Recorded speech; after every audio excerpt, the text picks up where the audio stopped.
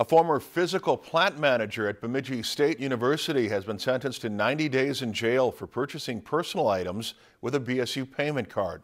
The Bemidji Pioneer reports Jeff Sandy was sentenced to 90 days in jail today after pleading guilty to using the card to purchase more than $36,000 worth of items, including a lawn tractor, a snowblower, and a king-size waterbed. According to the Pioneer, the 90-day jail sentence will be split with Sandy serving 45 days in Beltrami County Jail and 45 days on home monitoring. He's eligible for supervised release after serving two-thirds of the jail time, which is 30 days. Sandy is scheduled to report to jail on Tuesday, April 9th. Pioneer says a hearing is set for May 17th to determine how much Sandy should pay the university. If you enjoyed this segment of Lakeland News, please consider making a tax-deductible contribution to Lakeland PBS.